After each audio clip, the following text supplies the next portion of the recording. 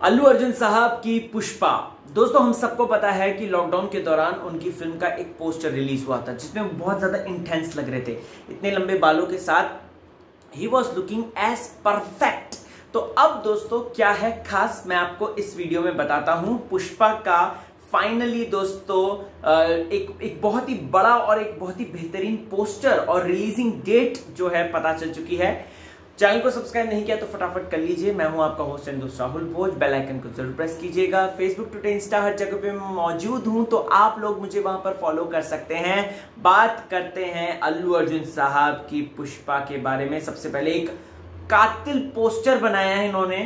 और प्लस उसमें releasing date भी है, जो कि सिनेमा घरों में रिलीज़ होगी 13 अगस्त 2021 को। जी हाँ दोस्तों, पुष्पा जो है वो 13 अगस्त 2021 को रिलीज़ हो रही है सिनेमा घरों में और इसका बहुत ही कातिल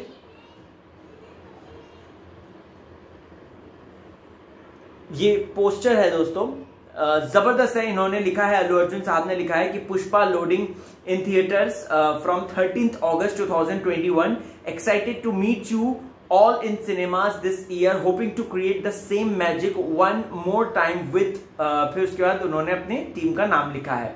सो so, दोस्तों आपको बताना चाहता हूँ तो 13 अगस्त को रिलीज़ होने वाली है Pushpa and super duper excited जिस तरीके से पुष्पा की अगर मैं बात करूँ तो पुष्पा को बहुत अच्छा रिस्पांस मिल रहा है दोस्तों। एंड इसके पोस्टर में ही लोगों ने इतने ज़्यादा ओ माय गॉड लोगों ने कितने सारे कमेंट्स करे हैं यार।